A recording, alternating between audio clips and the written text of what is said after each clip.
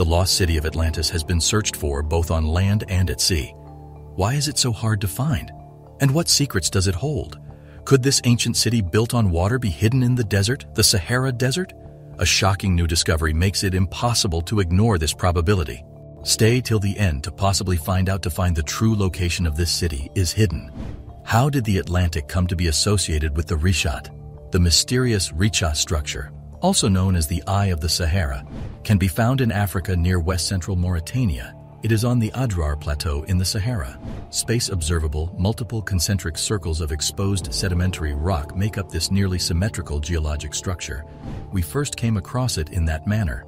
During the 1960s, space travelers who were essential for undertaking Gemini were looking for roundabout effect structures when they went over the Eye of the Sahara.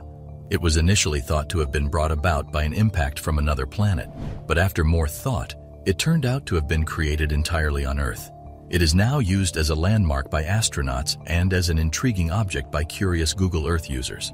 But some people think it's more than that. Is there any truth to that notion? Perhaps a link to Atlantis. What exactly is the lost city of Atlantis before that? The mythical island known as the Lost City of Atlantis disappeared into the depths of the ocean a long time ago, bringing with it the most advanced civilization ever.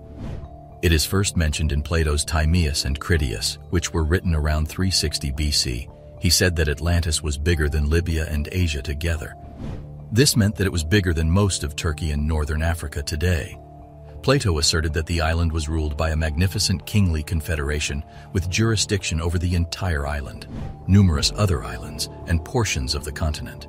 The city was divided into land and water-filled rings that alternated, and bridges connecting the center to the outside were surrounded by gates and guards.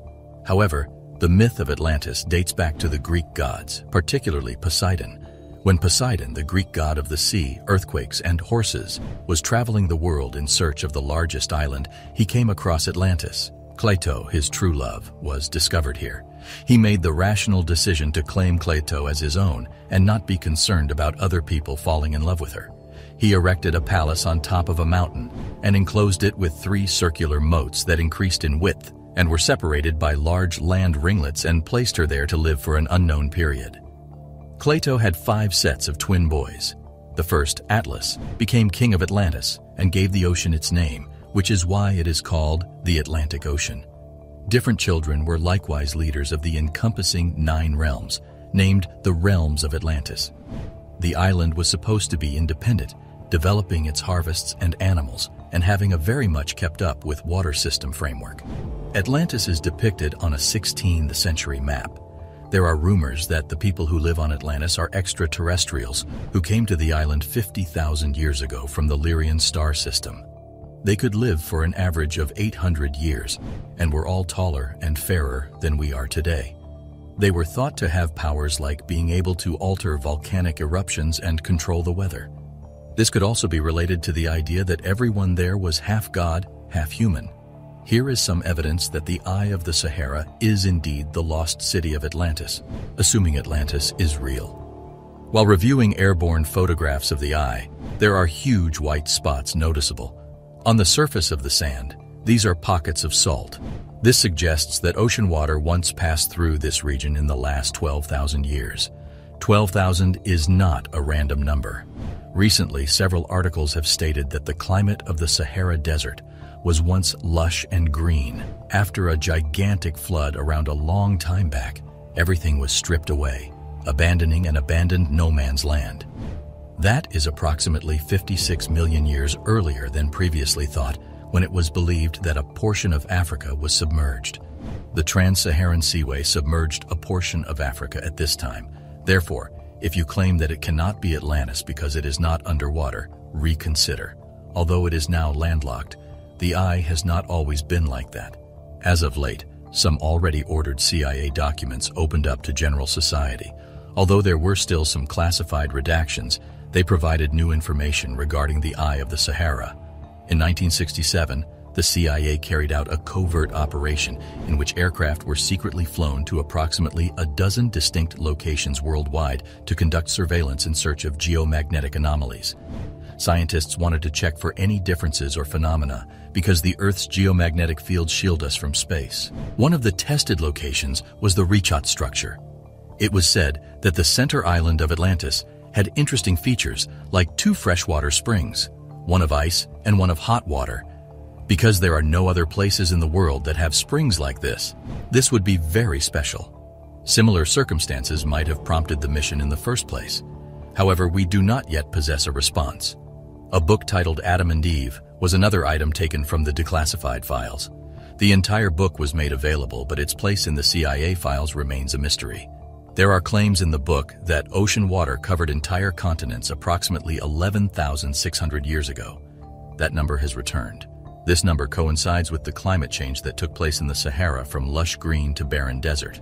Additionally, it coincides with the Atlantis sinking. In addition, it takes place during the Younger Dryas.